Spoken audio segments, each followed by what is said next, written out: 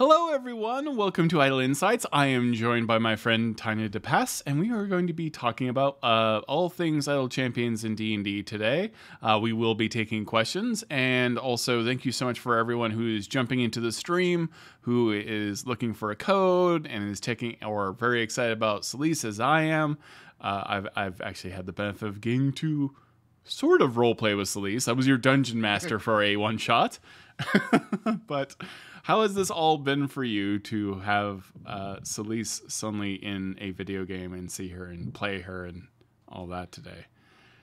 Uh, it's been wild, you know, just for as uh, for as much as I love games, to actually be a video game character is, is totally wild, and especially have it combine D and D and video games. And the D and D character I get to play like every week with my buddies, to then have her in this game. That's I don't want to like call it a dream come true, but it's like really, really close.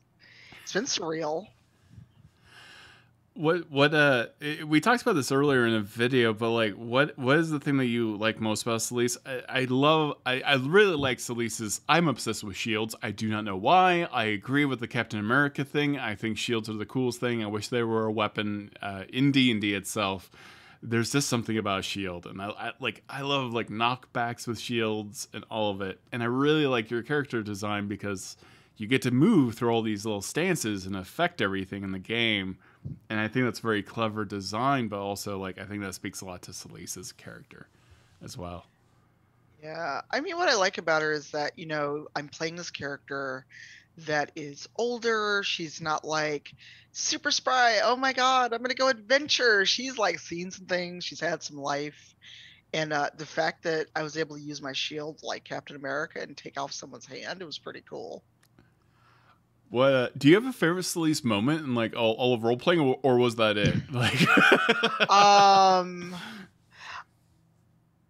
I'm trying to think. So between just using her shield like that when we were trapped in Avernus, but also uh, just a couple episodes ago when we were we were um, running for our lives and we'll give well we don't actually know who's after us right now but the rivals are kind of being hunted. And when shaka who's also an Idle Champions is like oh we trust you and i'm like do you though? Do you really? And we could have that kind of like csi tense moment yeah, well, what is that relationship with Shaka? How, how, how would you say the, the, the chemistry between those characters is? Um, it's changed since since season eight, where I was the DM and everyone else was in jail, and and uh, Shaka became kind of a narc. And so wow. the running joke is, yeah. Oh, he was such a narc. He was such an absolute narc. In jail, we're like, wow, though, wow, thanks, Shaka um, good to know what happens if we all get caught. You're going to be the one that sells us out. Good to know. Yeah, you're the first one to roll. Uh, and so, you know, because she is very morally gray, but she's willing to do the right thing. Uh-huh. She's like, you know, I'll do a lot of things to be on the morally gray side of right, but narking on my friends is not one of them. Um, and you know, but also Selise was off in Tarami dealing with her early vengeance on Ziraj. So mm-hmm. she, while she wasn't there, she heard about everything that happened.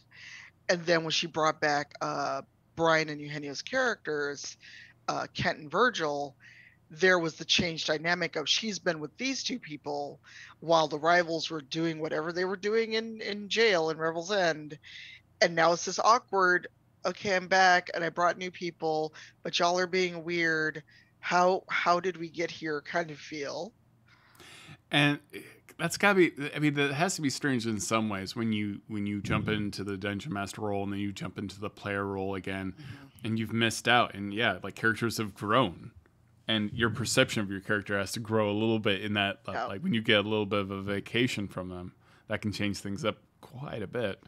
Oh absolutely.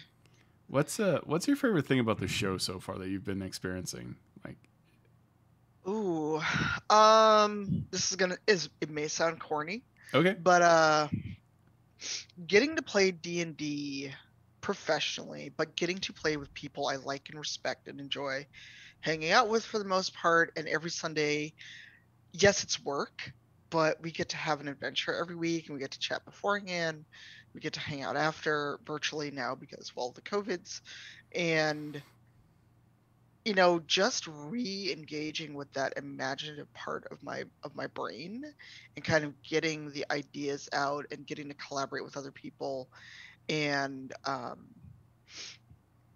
just getting to you know i get to buy dice and it's a business expense. Very valid yeah. I uh yeah i mean that's that's true. You really miss it when you're not getting to play d&d it, it is a deep void because um you know we don't all have money to like make an entire film by ourselves right and with our friends but like d&d kind of gives you that creative outlet. You can have these like Yep. massive ridiculous experiences and it doesn't cost you like you know a, a hundred thousand or millions of dollars to do it. So- yep. Uh, what what initially when you like want decided like how, I'm gonna play this character Selise like what were the key inspirations do you think? Um, a little bit of Grace Jones, a little bit of uh, Lieutenant Uhura, Mm-hmm. and a lot of Captain America, but not not Chris Evans. I like Chris Evans; he's cool. Mm-hmm. But our friend Christina Ariel as as Captain America. Her cosplay is Um, amazing. Yeah. Yep. So kind of all of those where she's just like, I forget. Can we cuss? Can I not cuss? I, I mean, you, I'm moderate cussing. Okay. Look, I'm just not. I'm not every other word is gonna be an f bomb. But it's like you know, basically, she's lived her life and seen some shit. Mhm. and she's not the fresh faced level one adventurer that a lot of us start with because we all started i think level four or five just to begin with yeah. um and you know it's it's it's one of those things where it's like here's this idea i had of her and i also realized after we had played maybe a season or two i fell i too fell into the kill your gays trope because her whole motivation for becoming a paladin was her wife was killed in front of her Mm-hmm. and I'm like, I, and I was like, do I know how to make a character with a happy backstory? I guess I don't. yeah, it can be hard. Like, yeah, yeah, ha- ha- having that death trope is, is definitely uh, difficult. Like, where is the character now from like where you started and now it, at the at, not the end, but like where do you feel like Selise is, and maybe where is Selise heading? Um, Selise is in a, she she was in a very dark place while while she was off screen doing her thing, uh, the season that I DM'd. She's coming back to it, but she she wants time to kind of you know still deal with the aftermath of losing touch with Tyr, and that has she shifted from morally gray to morally dark with taking on some blood hunter um, skills and embracing that not just being like oh well you know it's a little blood no one cares and she's like oh i'm i'm doing blood magic to to do my job how did i get here kind of thing What are some of your your uh, favorite heroic characters? You mentioned like Captain America in general. Are you a Com- Captain America fan, or is it mainly just seeing that cosplay of, uh, of hers?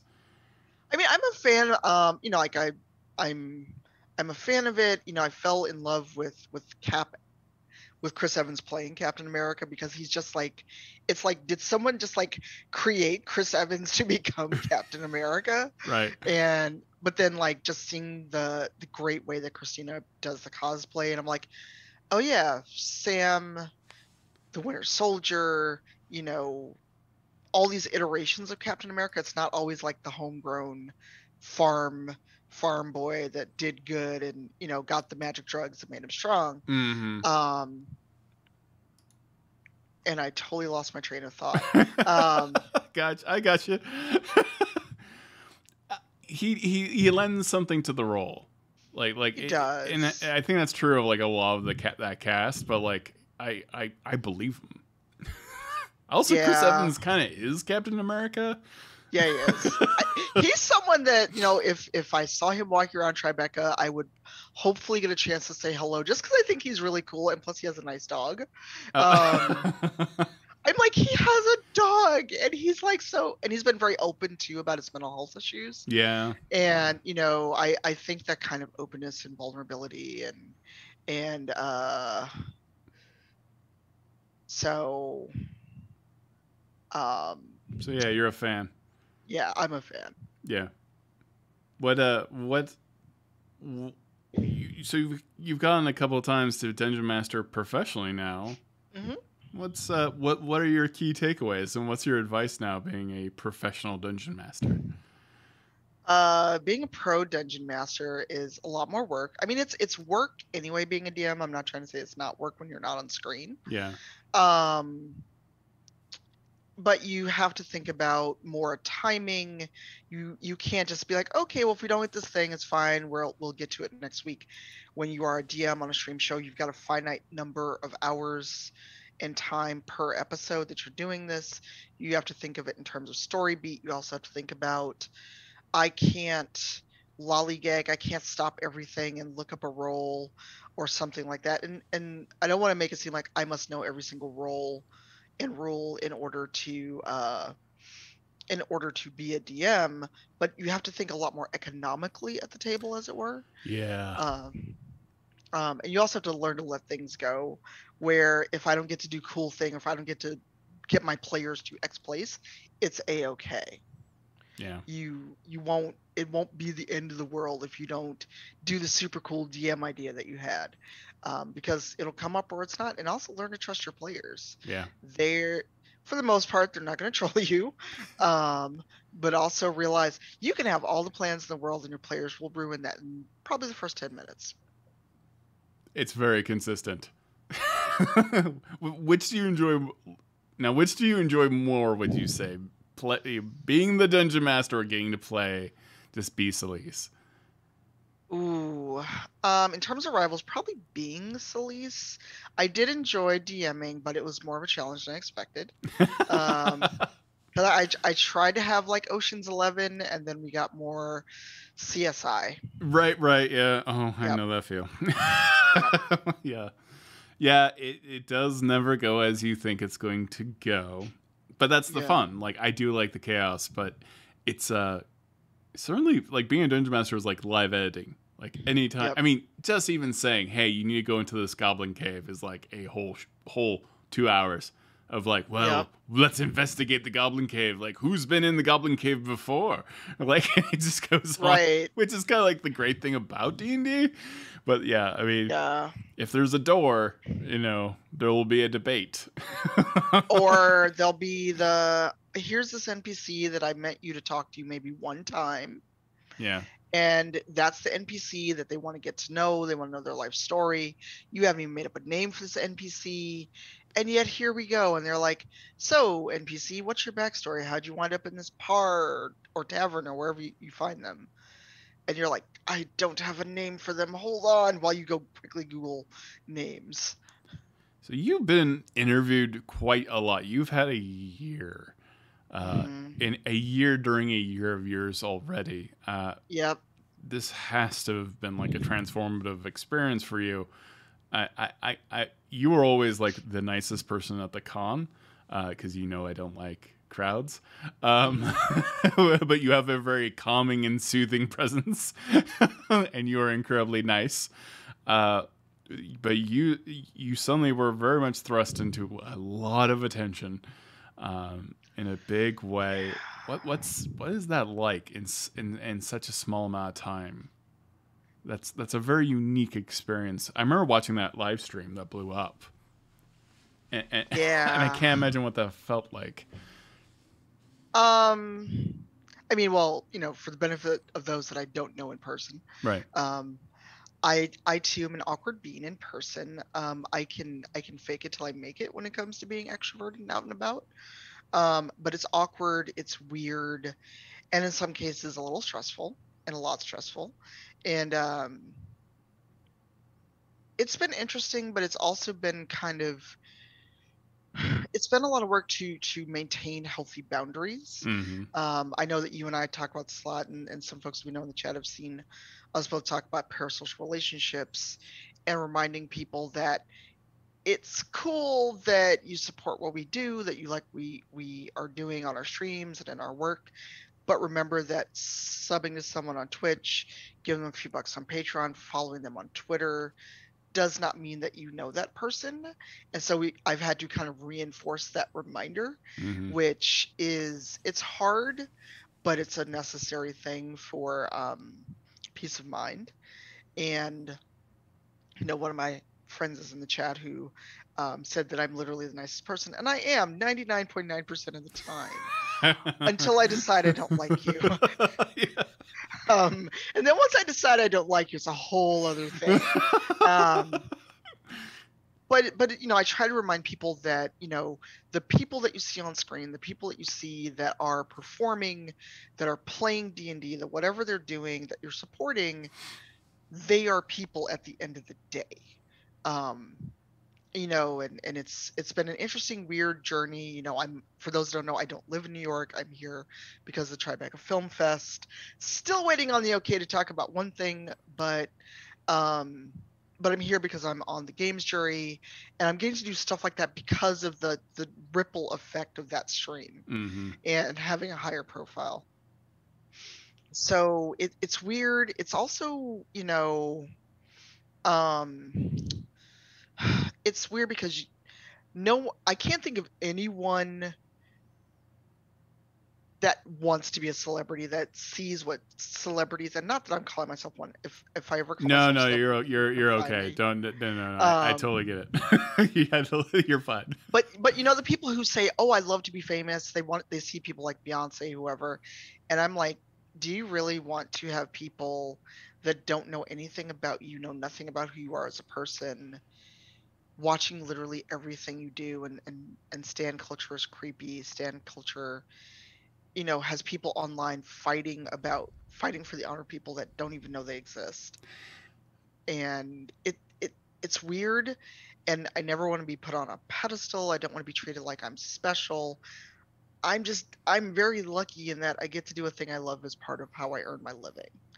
Yeah. And I always try to make people remember that because I've had people like say, "Oh my God, it's you! I'm honored that you're in my stream," and I'm like, "Okay, cool. I'm I'm just gonna lurk now," and then I eventually run away because don't put people on pedestals. It's it's it's cool that they are where you think you want to be, but at the end of the day,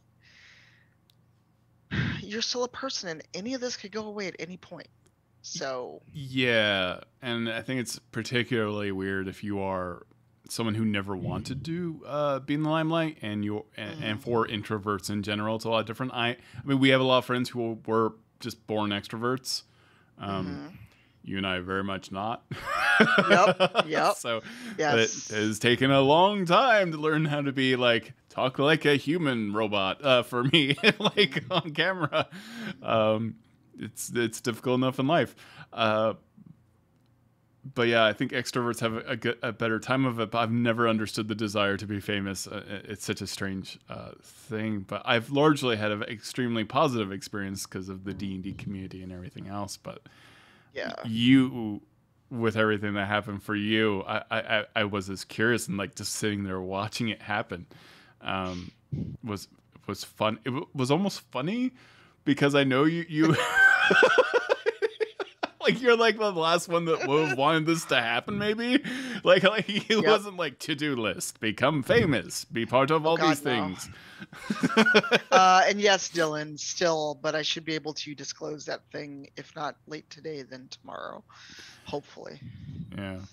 Uh, in terms of, is there are there things that you want to do in the future? Like, do you want to run another game again?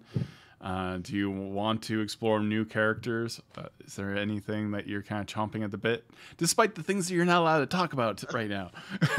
Um, I was about to send a text to ask, could I just talk about it now since I'm on this, since we're here? yeah. I haven't gotten an answer yet. Um, I would love to do I would love to do maybe a Rivals 2.0 where maybe we jump ahead a few years in the future hmm or we kind of go back and see how everyone began their life as an adventurer. Um, you know, and I've put it out there and I've said that um, I'd love for us to get where Critical Role is.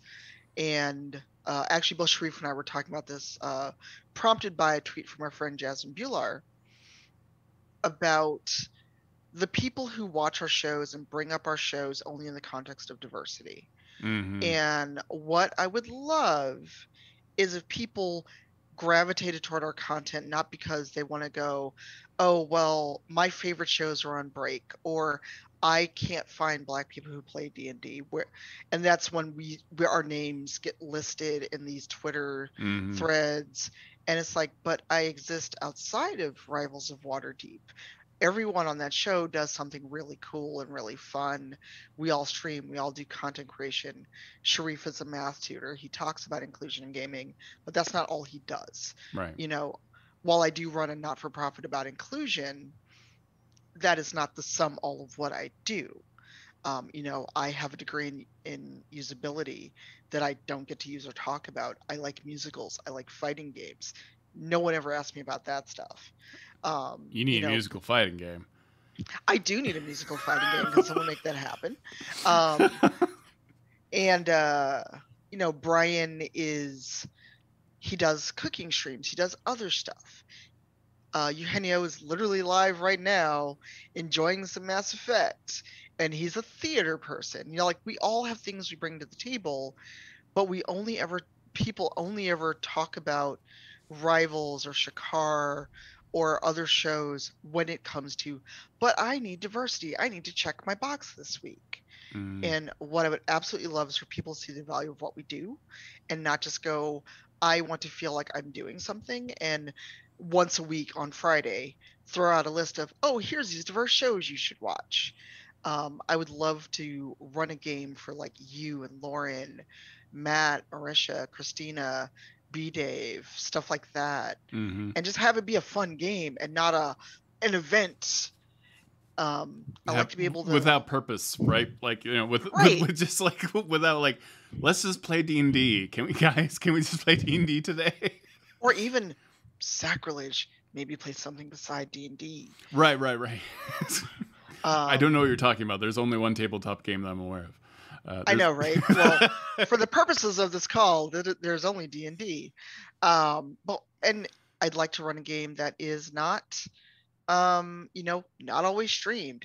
It'd be great to just roll out of bed in my PJs. yeah, and uh and just get on a zoom call and talk and bs with my friends have a beer and not have to be on yeah. Being on, I mean, role play like you can be way more laid back. Like you know, the difference between live streaming a D and D mm-hmm. game and the, the and your own personal game can be very different. I, I was mm-hmm. very fortunate in that like I had a bunch of theater friends because mm-hmm. they were like in college, but I was still in high school, and they were in college, and we played Star Wars for like three years, and it was great uh, because we were all like very very big into role playing, and that was really fun. But you're right, like you know.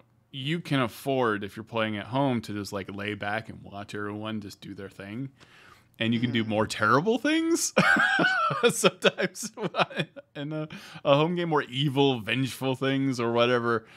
Um, but there is something about being on for a live Yeah. stream. Like d&d live stream d&d can be a very different creature. Uh, and being able to take your time and you know go on the bathroom break and just hang with friends is really great. Uh, yeah if you want to run a game i'll be in it um, so i i like to play I you're, you're gonna be cursed with Avon though, so that's very high, very likely. that's fine well i mean because that brings up the uh, the the discussion about emotional bleed too of we're playing a game but you and i are friends yeah. even if our characters may butt heads Oh yeah, totally. No, yeah, yeah. Like, uh, I am definitely not my character. I am certainly like mischievous. Like, I like mischievous characters, and I like being funny, but I am not uh, a trickster god.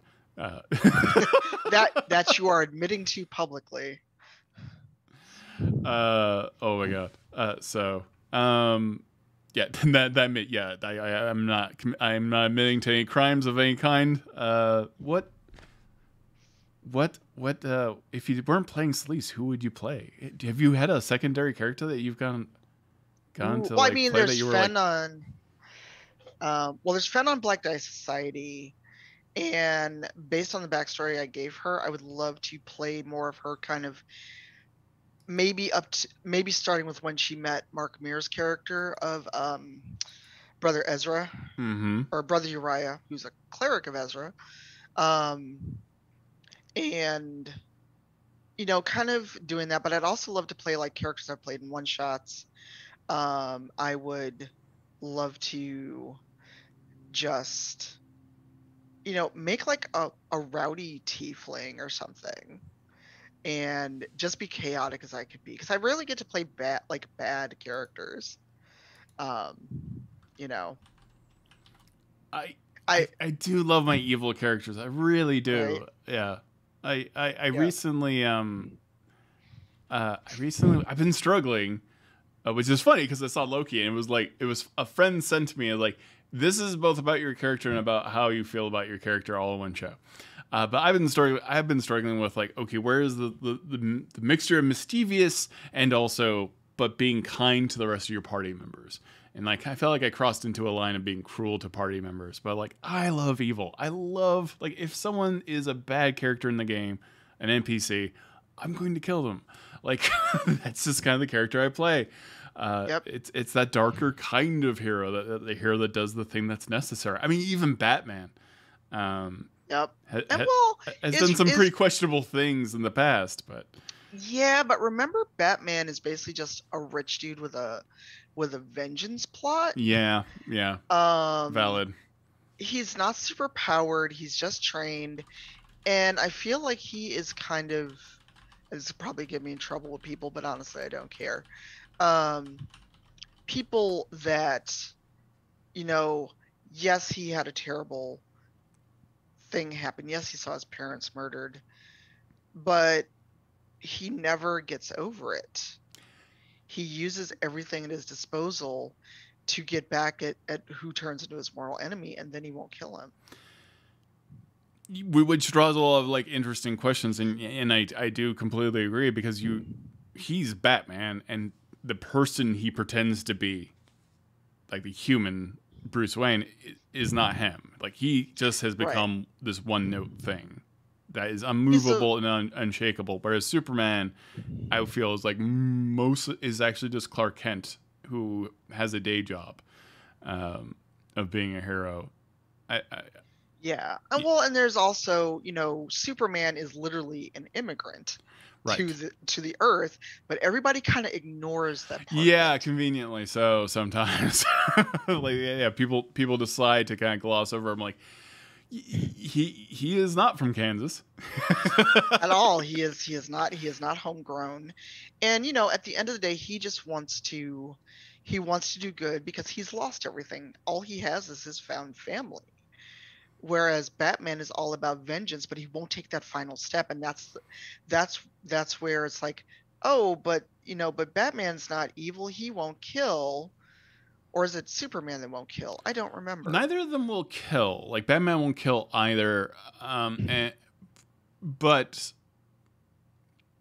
Batman But- seems completely unwilling to like at some point you're just like because these villains get out over and over again and there is a higher body count in Arkham right like Mhm. you know and there's a higher body count in Gotham in general than Metropolis like Yeah. Metropolis is very much New York on a summer day um and you know Gotham is New York at night uh in the 1960s right Yeah. like so Well, and also, how many times can we get a reboot of, of the Batman story and see this kid traumatized? Like, how come no one took this kid to therapy? right yeah they just no. left him alone in this giant house to brood about his parents' death, and the only person he has for company is the butler.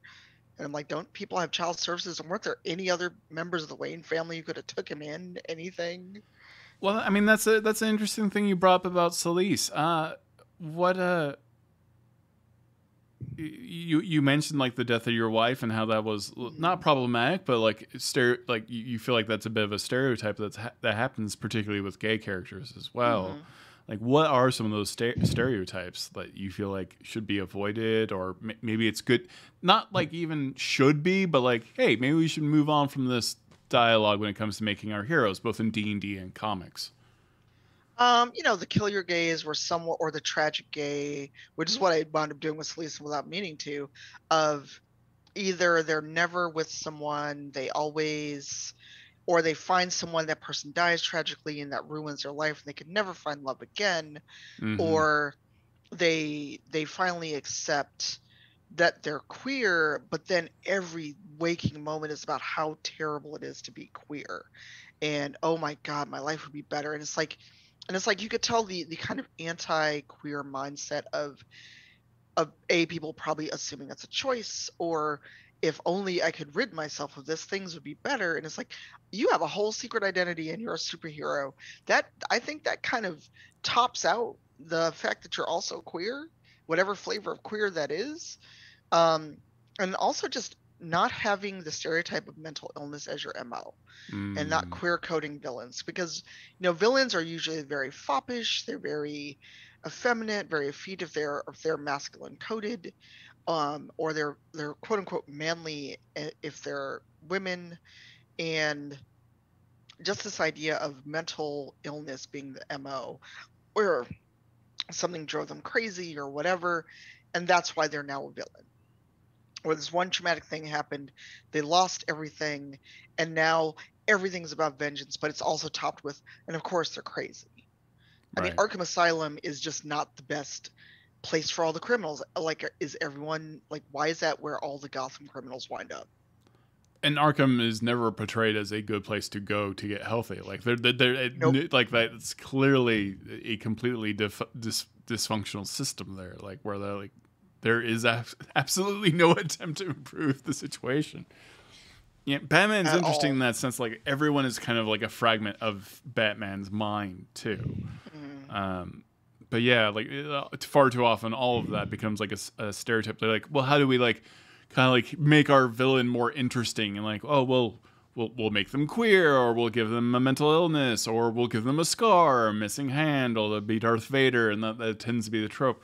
I think my favorite villains are the ones who absolutely believe they're right and that's it. There's no tragedy to it or mm. anything. They just believe it. And that's the thing that has always scared me growing up and like like Lex Luthor. He, we don't appreciate his genius. How dare we? I, I appreciate. I like a character who is just like unrepentantly just evil, like his ego, because he thought he was the best that humanity could have. And then you have a character who, like you said, is an immigrant who shows up, and they are the ones who step into the limelight, and they're the ones that get all this attention. And Lex Luthor just cannot let it go. Nope. With all of his money and all of his intellect, he could help solve all these problems in the world and he's so focused on on superman he sees nothing else. That's kind of an interesting villain. Not every villain needs to be relatable. Mm-hmm. but i do love i do love a villain because every every bad almost every bad person i've ever met uh, he either has is uh, f- flat out does not have any emotions because i was a journalist once uh, and uh, was on the crime beat. So occasionally you would run into literally a serial killer, or oh, wow, yeah, uh, or someone who just absolutely believes they're right and never question themselves, and that's the yep. scariest thing to me every time. Someone who does not question themselves. Uh, nope, they they literally don't care. Nothing will convince them that anyone else is is right beside them, or like a, a trend I've been seeing in some game plots and other things where they're the they have convinced themselves they're the only ones that can save humanity usually by wiping out humanity and starting right. from scratch.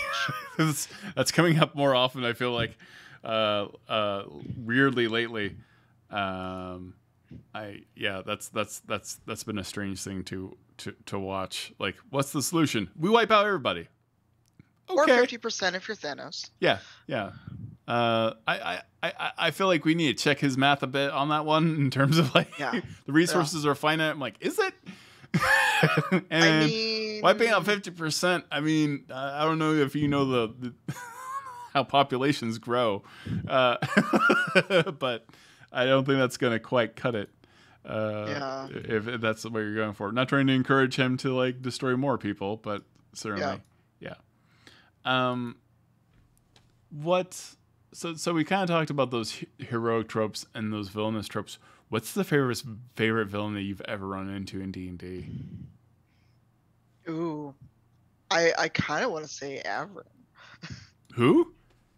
Do you do you consider Avron a villain or no? Uh, I do consider him a villain. To be completely honest, like he he's not like hopefully anti uh character.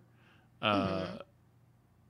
So uh, yeah, uh, I, I, I, I think I think he is villainous for sure. Like he does not have he has good intentions, but he is definitely evil for the sake of good, which gives him a little Okay. bit more wiggle room in terms of what he does and does not do. Okay. Okay. Yeah, so I'll, I'll Um, but I am very actually not but I am very honored that I am your favorite villain. My character is at least. Yeah.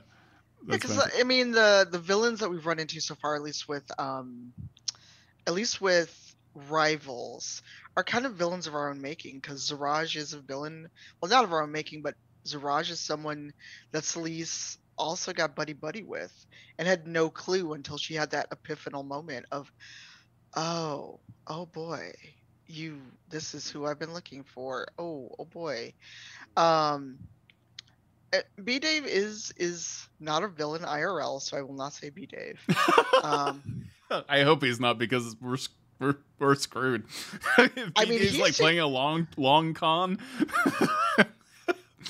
um, I mean, he does have that gift. He does have the TTRPG gift award for uh, best evil DM. But if B Dave were truly evil, right. He's so he's that person that'd be so smart. We'd have a hard time beating him if he was evil. Um, uh, I am sure that he is not evil, and I'm trying to think in in Black Dice. It's hard because we've some of us have already met Strahd some of us have met Aslan, hmm but there's also the brain in the jar that Nora's character carries around that I'm sure is going to kill us all. I love it. I love brains in jars. I don't know why. brain in jar is going to kill us. Yeah, well, I mean, it's got to eventually. I mean, it is. It, it, it, it's. It's. you've got brain in jar. That's like introducing a gun in the first act of a, of a play.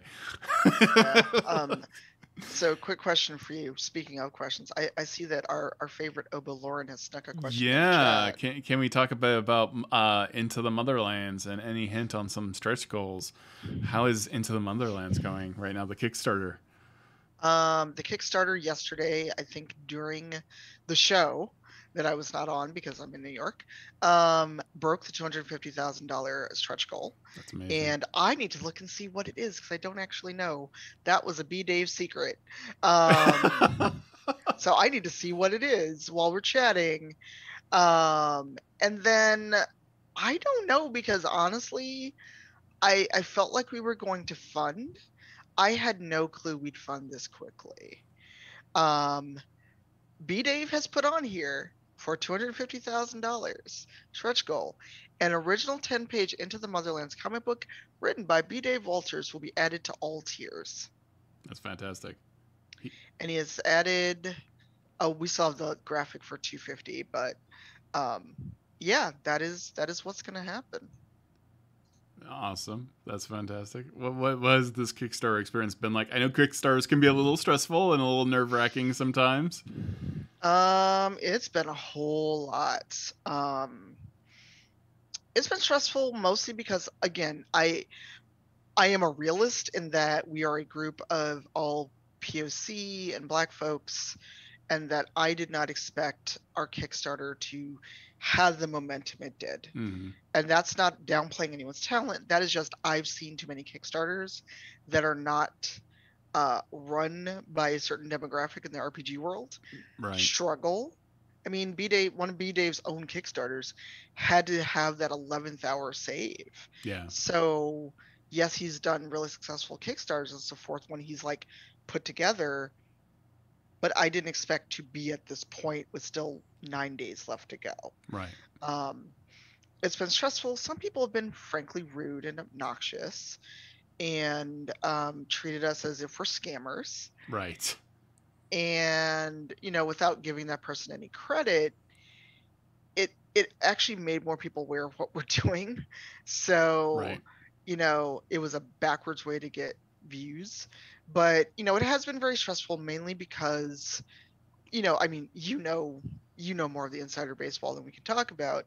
But, you know, for many sundry reasons, uh, we are trying to make sure that we bring the best mechanics to the game as possible. Right. Whether that is still Cortex Prime, whether that's anything else, but um, people have taken that as their kind of Don Quixote thing to tilt at the windmill of we must be lying, we must Yeah. be. Which makes absolutely Uh, no sense because each and every one of you are extremely established people in the TTRPG industry, Mm-hmm. also making comic books and books and also designing games. All Yeah. and so it's just ridiculous, unfounded nonsense, and it, yeah, it's it's not worth. I mean, it's just ridiculous, but that's sometimes the attention that you unfortunately get. But despite this, Motherlands is still doing quite well. So Yeah, I mean, a quarter of a million dollars, people. But here's the thing. I feel like there's some so- confidence in it. there's some confidence. Um, but you know, just a quick Kickstarter primer for those people that don't know how they work. yeah. So before we see any of this money, don't think that we're just going to get a quarter million dollars in the bank when the Kickstarter ends. Oh no. uh, Kickstarter gets their fees. Um, we are do, we are spending some money on marketing, so they get their payout. Mhm. Um, we have to pay people. Then we have to set aside money for Taxes. um, taxes because this be taxes income, and I will cry for my 2021 taxes on the business side. Um, but then we have to pay people. We have to pay artists. We have to commission art. We have to commission maps. All the extra physical things that people ask for adds to the total of what we need to fulfill. Physical books. We have to consider shipping outside the U.S. How VAT taxes. All of those things Mhm. before we see a dime. And it's 14 to 30 days before the money actually gets transferred to your account. So we're not going to see any of this money until July at the earliest. Right. So it's not like we were rich. People still have to fulfill the Kickstarter. So um, Yeah, there is this kind of illusion. You see this big number, and you're like, it, you, you can't imagine the taxes on it. There, are, the Kickstarter gets their cut. Um, even the pay, the way it gets paid takes a cut out of it as well. Mm, And then, at least with my experience in Kickstarter, you get taxed for the full amount of what you raise before these fees, Yep. uh, given by Kickstarter and by you know the company that handles those payments. And so you're paying basically another company's taxes on it as well, and and and you gotta Yep. pay your people. Yep, and then you know you have to pay out fairly, and we are paying above the industry standard for our writing and for our maps and for our art Yeah, because in in our house we pay people and we pay them well. it's kind of a nice thing. Yeah, yeah, so it's a lot of work. Like this is this is like uh, this is you saying I will do X amount of work, and it's so much work. yeah, I mean on the only other Kickstarter I've done, which is for emote pins, uh, um, enamel pins in my emotes because people wanted it, I actually lost money. Yeah, After all was said and done, I lost about fifteen hundred dollars. I I had a Kickstarter and we lost money. We lost so much money. We we, we were way in the hole because we you know the travel expenses, the taxes, the fees, and everything else just became so prohibitive, and it was just so much harder. And this was early days of Kickstarter, right? So we didn't we didn't know what were we like quite Yeah. like how rough it was going to be. Um, thank you to everyone who's in chat by now, by the way, who've gotten the notification and are are uh, in chat and talk, t- talking. Um, please ask questions if you have any questions, and we'll do our best to answer those questions in chat. Uh, we're talking to Tanya DePass, who is involved in the Motherlands Kickstarter, who also just got a character named Selise in Idle Champions, who is amazing. And surprisingly complex character, by the way. I know this because I'm voicing a video about Selise. And uh, like it, it's great. Like all these little stances affect every little thing about Selise, and it's actually really fun.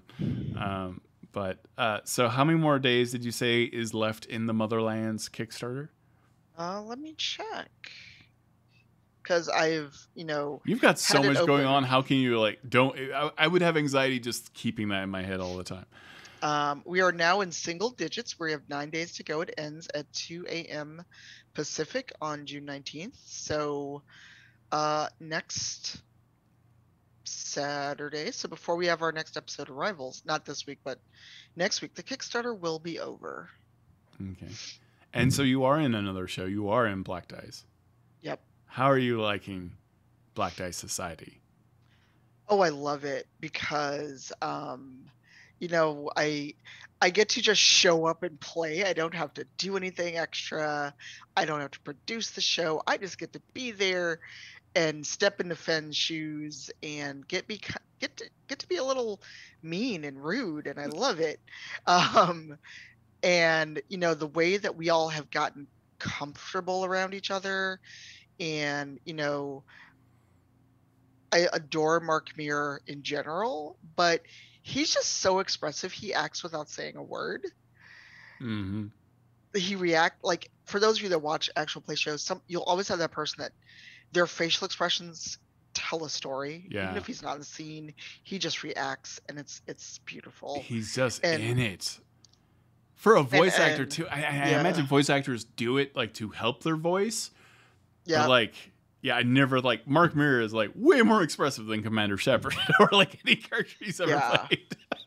um and you know and and you know dj knight and i have been friends for years and i get to like back to back nights play rpgs with him and it's just seeing him enjoy this so much Yeah, and seeing him enjoy getting into his character desmond and the little impish smile he gets when he gets to like wolf out it's amazing um and like i didn't know sage or nora or becca very well before this game and you know just the way that we all click and mesh together especially now that we've been doing what 12 13 episodes Yeah. It's it's just been so fun to just dig right in and Fen is not a nice person because you don't wind up in the mist if you're a nice person and uh I get to just have those real both emotional moments with my friends and and carry some of that over but then I also get to have these kind of really great RP moments that mean the world you know Right. Yeah, Ravenloft is a uh, a sharper edged D and D, where things get exposed. Either either your guts or your or who you are, one way or the other. yeah and um without spoiling it too much you know f- ju- i'm trying to think of how to explain this without spoiling it too much because if you've never seen black dice and then you start watching it some things are revealed later on. Um but mark's character has some interesting personality shifts shall we say but when you see him be brother uriah and then suddenly this other character we're sitting there with him in the zoom call and we're still like it's like it's just like a switch got Yeah. hit oh, we got we got a couple of questions here. Uh, so uh, awkwardish panda, that's fantastic. Uh, how do you like everyone getting to dress as their characters on Black Dice Society? I actually like cosplaying a lot. Uh, in in in games, I feel like that adds to it. What, how do you feel about it? I enjoy it, although I made the mistake of buying a heavy brocade coat right before the show started, Yeah. and it's summer, so Yeah. that was a bad idea on my part. Um, Yeah. but I enjoy it. You know, it's fun. I just need to, once I'm fully unpacked, find my elf ears and finally fit my teeth that I bought. Because I, I like went whole hog. I bought like several styles of elf ears. I bought uh, a few kinds of different vampire teeth to see how I could talk to them. But then I moved, so a lot of stuff is still in a box. Um, but it's fun. It, you know, it's a challenge, especially in warmer weather because we're a bit gothic. Yeah. Um, but it's fun, and at the very least, I can put on a black T-shirt and a, a cloak and call it a day. I need to get me a good cloak. Uh, yeah, I, I, I like a nice, somewhat breathable cloak. I, I've seen people walk into live streams with like a fur cloak, and I'm like, no, buddy. You must have the best air conditioning God gave anybody, because couldn't you, be d- me. You, you don't want to do it. Oh, uh, it's a question from my wife, Megan Kenrick. Uh, what, Hi, Megan. what are some th- things about your champion that you're excited about? Sorry if you already talked about this. What are some things that you are excited about? Like, what was the one thing that you're like, that's it, that's Selise? Oh, her her uh her ultimates and getting to use lightning and throwing her shield. I'm so excited for that. the throwing the shield ability I, it just looks really cool I, uh, it- all of it's cool like the knockback is really cool and seeing the shield not you know s- smack people it, it's um you are you are like captain america right in endgame kind of level of like throwing that shield around Yep, and I I love it. I I would love to get a proper like replica commissioned, but then I could probably never take it anywhere because. Oh yeah, yeah. They're probably not going to let that get through the metal detector. I mean, I could ship it. yeah, yeah. But then I wanna, I would need a case, or I have to. It would have to be like my carry-on, but then it wouldn't fit anywhere. It would be weird. But I just want one for the wall behind me. Yeah, yeah.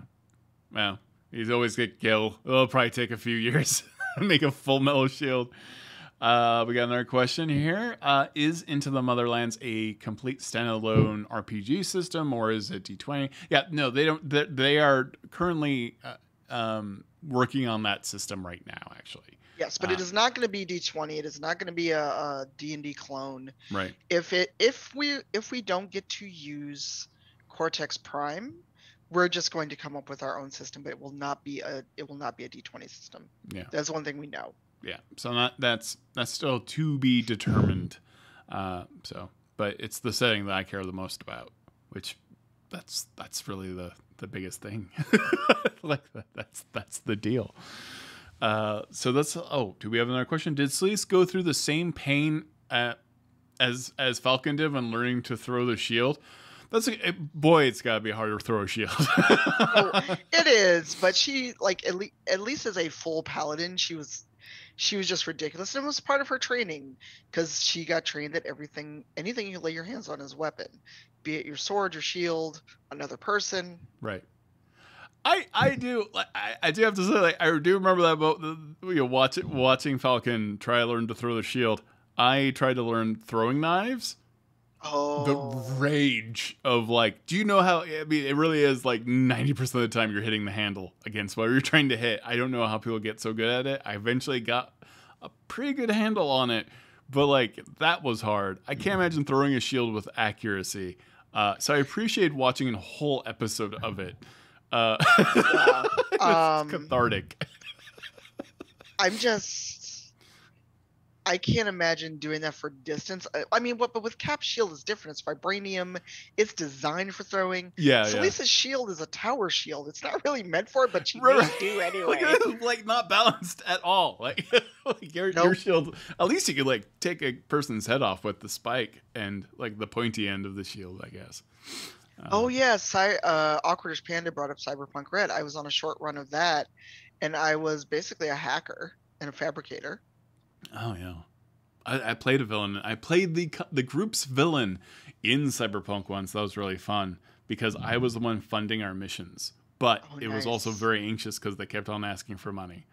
Uh, yeah, I, I I like Cyberpunk, but it's very crunchy. It is very crunchy. Cyberpunk is a very crunchy game. Like Vampire, I feel is like very forgiving.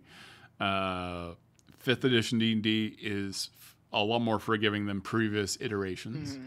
Um, you know, West End Star Wars is very, very is one of the most simple systems I've ever seen in my entire life, and one of the most functional for that genre.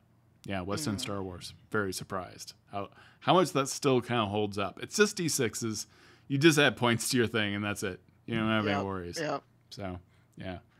Uh, well, is there anything else you'd like to talk say, say about Selise as we are uh, wrapping up? I'm getting the wrap signal somewhere in Canada okay. right now. okay. Um, honestly, just I'm hoping this season we get a chance for her to have some growth, kind of really deal with her her la- her loss of community with Tyr, yeah, and then uh, also survive whatever Masood's going to throw at us. Because I'm concerned. Uh, yeah, you get attached to see these characters, you know. Uh, and Masood came out swinging. I was like, "We gonna die on the the premiere?" I mean, it's bold. It's bold. it was bold, and I was just like, we were just sitting here chilling. Why? Why? We tried to just go have a drink, and now this happened. Look at where we are now. Now we're on the run. Uh, I, I it, it very much kind of well, not quite on the same level, but still like you know like the beginning of Endgame. I'm like, okay, we're gonna kill a Loki. I'm like, oh, so we're starting out this way. okay, yeah. cool. like, how much worse are things going to get? Okay, much worse. All right, okay. Uh, well, I hope Selise survives. Uh, so do I. I have less confidence in Ravenloft. Um, but good luck. There are worse things in life in Ravenloft, though. So, uh, especially when Yeah. B Dave is DMing. Yeah. Yeah, I uh I have now gone in death saves twice in 12 episodes, so on on Black Dice. So I don't know how much longer Fen is going to live. so don't, don't grow too attached emotionally, maybe. I I just keep saying we spent too much on art. We spent too much on art. You can't die yet. Yeah, that is val- valid, right? Like, uh, I think like the moment you buy cosplay, Fenn's gonna die. Like- Oh, yep. like, yeah, yeah. Yep. Or like, or if you pur- purchase fan art for yourself, you're like, that's when that character goes. Yeah, yeah. Well, Yep. uh, Tanya DePass, thank you so much for being on the show. Uh, and always being wonderful and always being like the kindest person at cons, at least to me. Uh, especially for us both being introverts. I remember us at Gamehole Con both boing, being like, "Ooh, crowds are scary," and just standing in the middle of a crowd and staring at everybody. And then it's like we should go get a beer. You want to get a beer? Yes, let's leave right now. Yes, I would like to go now. Thank you. Uh, yeah, you've always been such a wonderful, positive part of the community, and I'm so glad more people are getting to know that now. So, thank you for Well, being on the you. show, and I'm excited to play Selise in uh, Idle Champions 2. I can't wait. Mm-hmm. I, I need to go unlock her and make sure that my idling has now given me enough gold to actually unlock her. You gotta get the, you gotta get the gold. That's that's the whole point is that loot. Yep. I mean, who doesn't like getting loot like without actually being there? So. Right? All right. Thank you, everyone, for watching. Thank you so much to our wonderful guest. Have a great day. Bye. Bye, y'all.